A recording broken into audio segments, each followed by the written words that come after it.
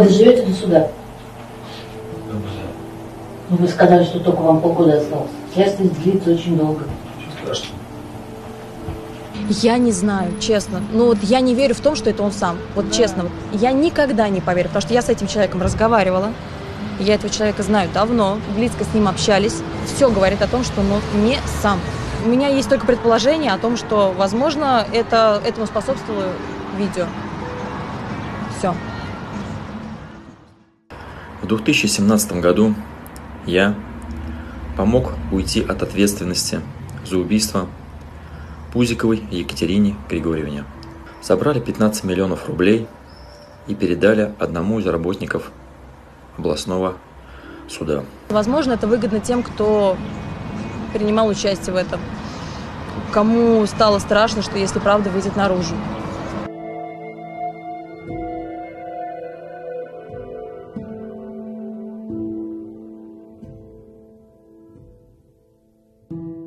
Знает, что его поддерживают люди, что есть адвокат, и что вот эту ситуацию решают, да, что близкие, друзья его поддерживают.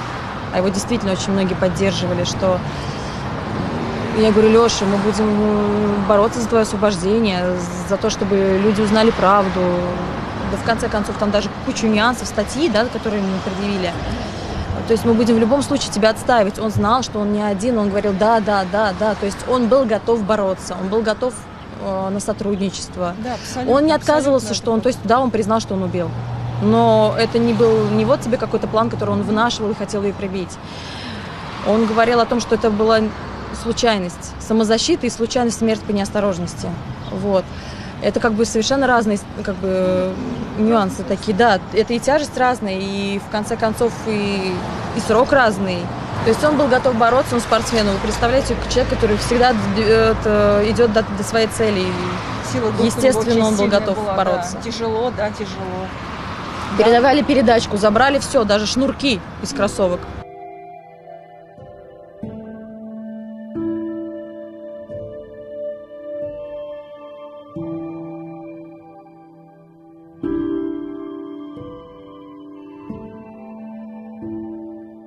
Кто бы что бы мне ни сказал, я никогда не поверю в версию самоубийства. В здравом смысле человек не ведет себя так и не заканчивает жизнь самоубийством.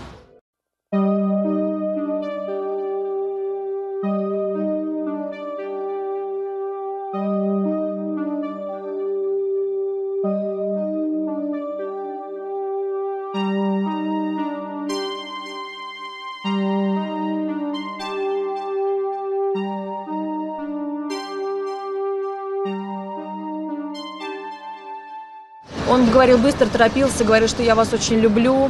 Передай маме, скажи, что со мной все нормально, что я как бы в себе, что я пришел в себя, что со мной все хорошо, а, что я люблю маму, Оксану, Машу, то есть что я всех люблю вас. А, не смотрите, что говорят в новостях, это все неправда. А, он говорил, что мы с ней говорили долго, где-то часа два-три, пили чай, и у меня болела голова, она мне дала две таблетки. Вот это то, что он мне успел сообщить. Говорит, меня после них там вот немножко там он рассказывал, она воткнула мне нож в одну руку, порезала ему грудь, он закрывался, резал. Он говорит, ну, мне, говорит, у меня уже в голове все плыло. Он и говорил, что она должна была денег и не отдавала. И он записал это видео и говорил, что я сейчас его выложу, если ты не согласишься вернуть долг свой людям. Она, видимо, не согласилась, и он говорит, я, запис... я прям при ней нажал кнопку «Загрузить». Екатерину Григорьевну оправдали, хотя все понимали, судьи, Не знаю, что в нем дальше. Вполне возможно, он назвал имена. Не знаю, честно. Но я точно знаю, что Алексей технически не знал, как выложить полное видео. Может быть, он рассчитывал на то, что она напугается и, согласится вернуть деньги. Ничего не могу Да, сказать. я думаю, что, как скорее бы. всего, так оно и Возможно, было. на это был расчет, но дальше все пошло не по плану. Как бы его ошибка, я над ним каждый раз подшучивала. Говорю, ты только, говорю, пюре не ешь у нее дома. Только пюре не ешь. Он говорит, ну ладно, Лёль, хватит шутить, хватит меня это. А вот таблетки выпил. Ну, я тебе еще раз говорю, э, хочешь, давай встретимся у тебя, попьем чай, пообщаемся спокойно. Нет, у я меня мы тоже что- встречаться не будем. Я говорю, я приеду, у меня есть мысль. Ну, без проблем. Как хочешь. Можем, у тебя можем, естественно, можем у меня встретиться.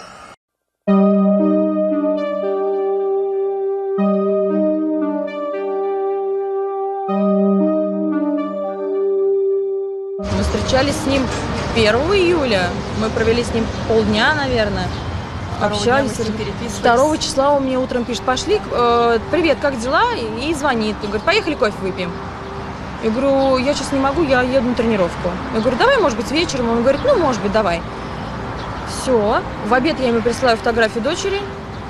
Там переслал. ну. Он ответил смайликом и все. То есть ничего не предвещало абсолютно, Мы как с эту. ним общались 2 числа. И он вдруг выкладывает, я просыпаюсь, я легла днем спать, просыпаюсь вечером, где-то около семи, наверное, да, и открываю глаза, значит, залезаю, как обычно, там сначала в телефон, смотрю какие-то соцсети, и вижу это видео. Меня это вообще повергло в шок. Я давай скорее ему звонить. Телефон недоступен. Все, с этого момента я начинаю его искать, звоню вот Оксане, звоню друзьям, никто не знает, где он, что он.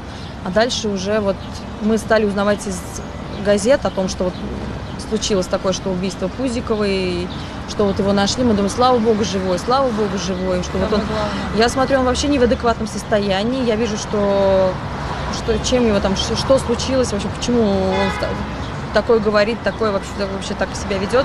Для нас это было шоком, потому что с утра я разговаривала с абсолютно нормальным, здоровым человеком, который предлагал мне выпить кофе и поболтать.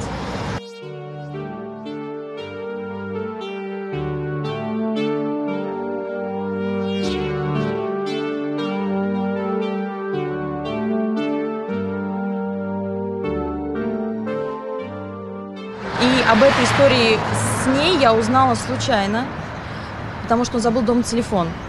Мы с ним были женаты, и никакого разговора о разводе у нас не было в помине. Да, отношения были не самые лучшие, как бы в семнадцатом году у нас.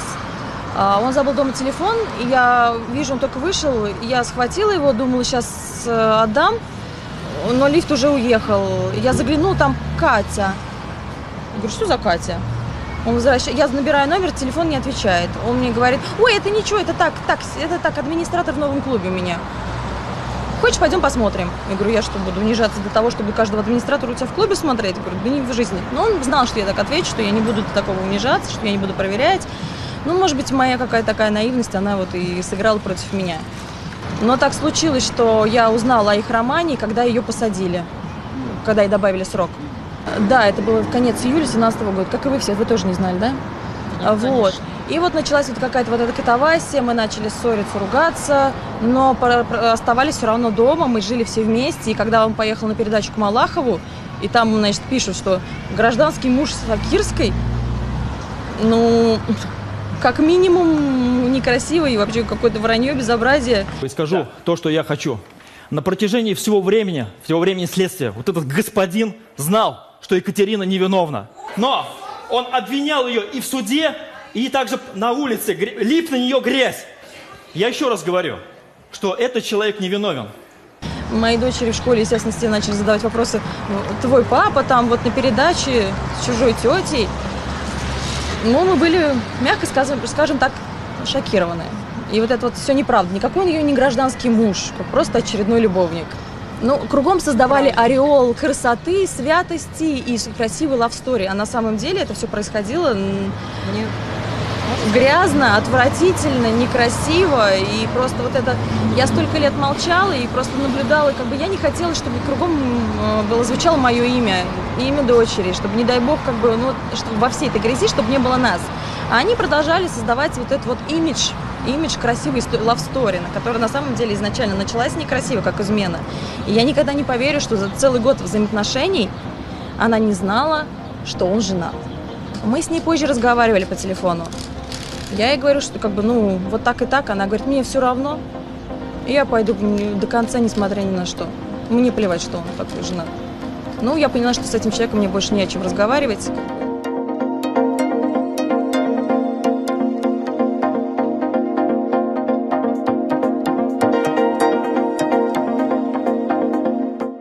Если ты решил уйти, значит ты ушел. Если ты решил вернуться, ну, значит, не ко мне, если ты хочешь возвращаться. Вот как только он связался с ней, это стал совершенно другой человек. Мне все спрашивали, там, друзья, говорю, Оль, ну как так, ты что, не замечала? Там, ну, я говорю, вы знаете, говорю, вот я его знаю да, достаточно давно, но вот тот человек, который сейчас, я его не знаю. Я не знаю этого человека. Он был как заколдованный. Он поссорился со всеми друзьями. Вот сейчас вот со мной связываются люди, они говорят, Оль, мы не знаем этого человека. Он, он никого не слушал. Он был как, как зомби был. Он был как зомби.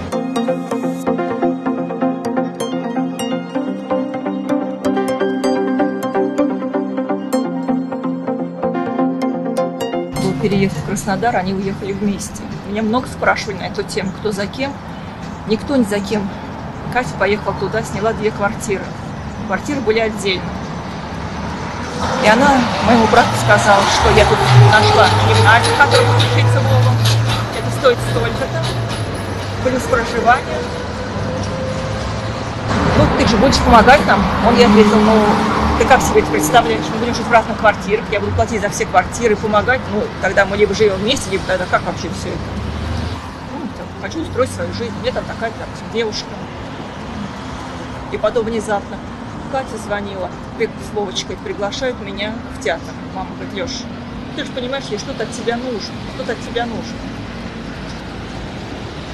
Он говорил, что в риэлторское агентство Катя хотела устроиться на работу. Он говорит, мы ее брать не будем на работу. Потом, как выяснилось, что Катя была одним из директоров или, ну, какой-то вес имела.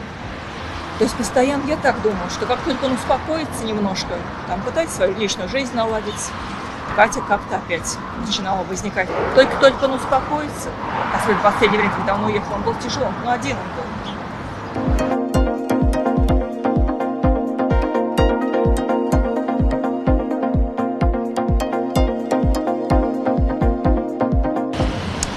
А он рассказывал о том, что вот эти вот какие-то совершенно вопиющие жуткие финансовые махинации. Он говорит, что она постоянно приходит, плачется, просит денег, что она пытается сделать э, свое имя личным брендом адвокатским, как хотела стать адвокатом решалой, брала деньги у людей для решения вопросов, вопросы не решала, люди приходили с претензиями, она приходила в слезах, Леша, помоги, Леша, помоги, Леша очень много закрывал ее долгов, и, говорит, вымогает с меня деньги в Краснодаре с ее новым приятелем, и рассказывать о том, что там была какая-то любовь, он ее преследовал, то он название, э, как бы, она названивала ему, вот мы сделали, сидели, сидели в этом же кафе, и она 500 раз ему звонила. Я говорю, ну, не отвечаю. Он говорит, я даже уже блокировала, она звонит с неизвестных номеров.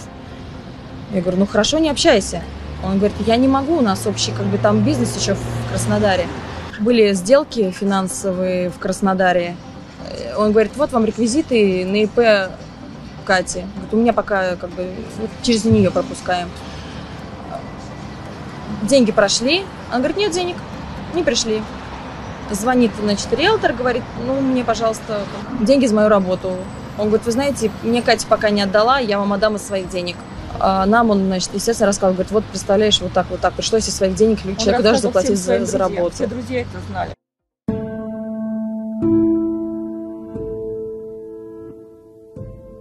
Ну, то, что все кругом говорят, он ее бил.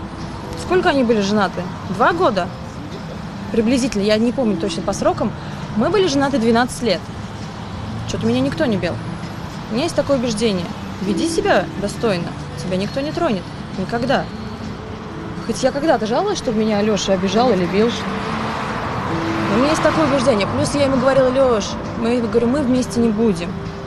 Найди себе хорошую девушку, которая родит тебе детей, которая будет доброй, заботливой, будем дружить с семьями, классно, с Варваркой, все, все здорово будет. Он говорит, у меня была здесь девушка, она мне очень нравилась. Он говорит, Катя про нее узнала, что-то ей про меня наговорила, и девушка сейчас со мной даже не хочет на связь выходить. Говорю, Леш, ну найди другую. Говорю, ну понятно же дело, что ей неудобно, что если ты сейчас будешь встречаться с другой девушкой, ты перестанешь давать ей денег, потому что она ему звонила, постоянно просила денег. Говорит, он мне рассказывает, она меня просит 250 тысяч, потому что ей нечем кормить сына.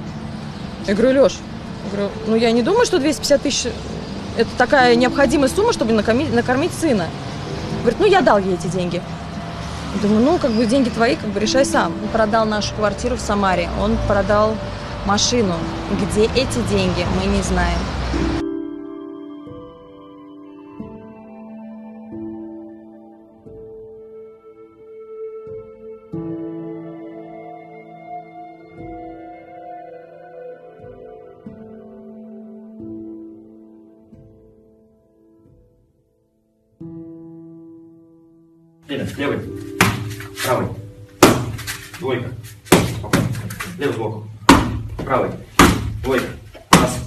Два. Левый прямой.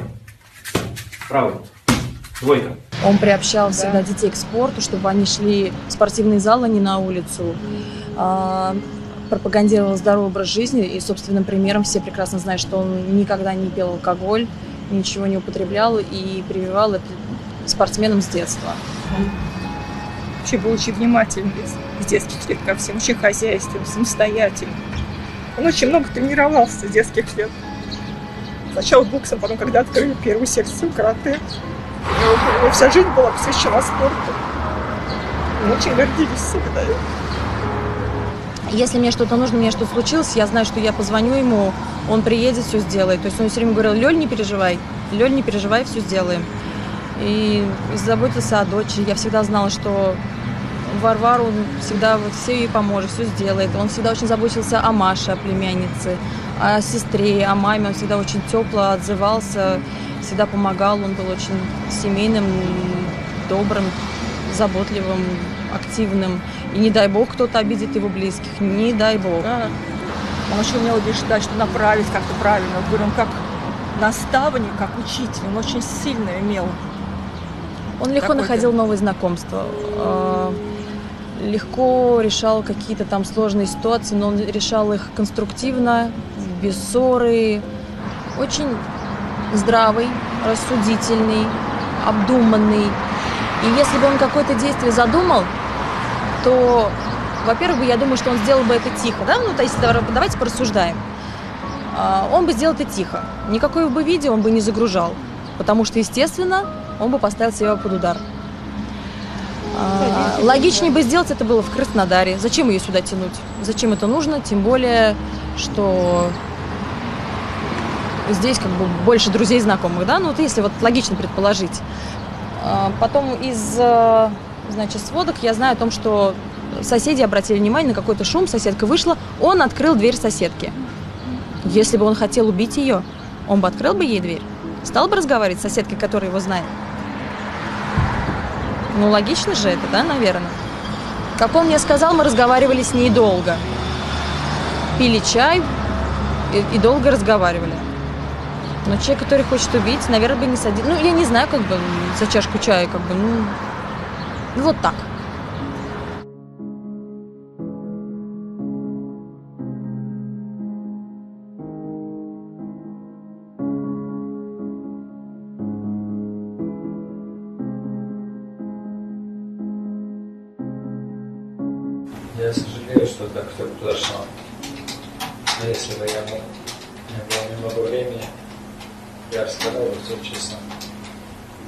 Как все произошло. Как все произошло на самом деле.